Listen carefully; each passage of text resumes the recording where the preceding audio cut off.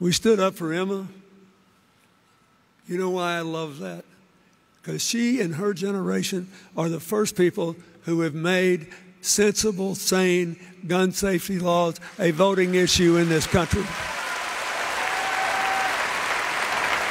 And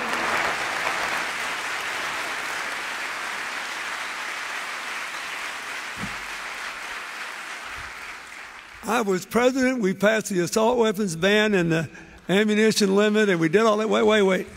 We did it all, but we couldn't make it a voting issue, and we got our brains beat out.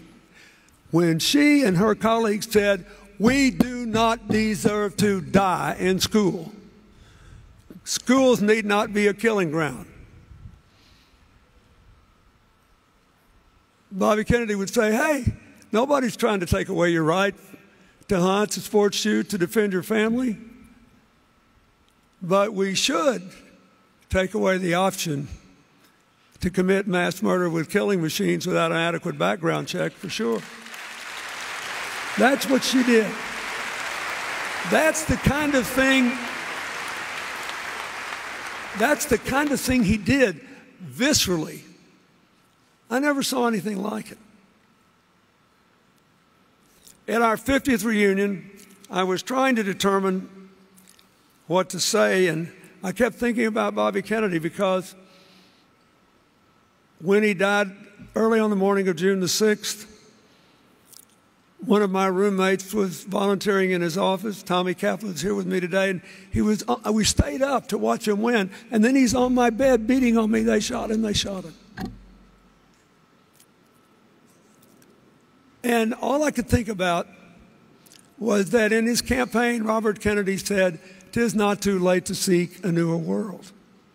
He loved Tennyson's Ulysses, and it was perfect. It was like, "Hey, I'm a 42-year-old cool guy." and young people can relate to me, and we're going to do great things. We can make America again. Again. But